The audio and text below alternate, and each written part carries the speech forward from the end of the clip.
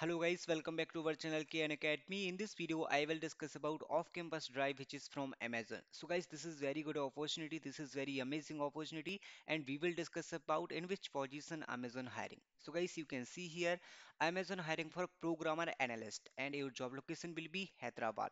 Now we will discuss about the eligibility criteria, basic qualification and preferred qualifications. Okay, so guys, in description you can read about the Amazon, like how they are hiring and what qualifications, what skills you should have.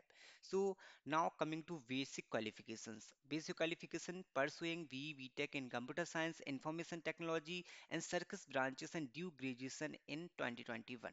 Okay, so if you have b degree, BTech degree in computer science or information field, then you can apply and 2021 batch students can also apply in this opportunity. Okay, and other additional skills, a strong object-oriented development knowledge in C++ or Java and knowledge of the Unix Linux operating system.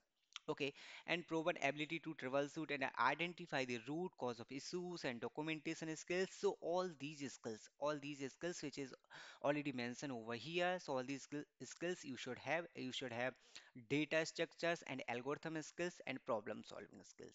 Okay, and uh, what about uh, preferred qualification? Preferred qualification same is basic qualification. You can also see here, right?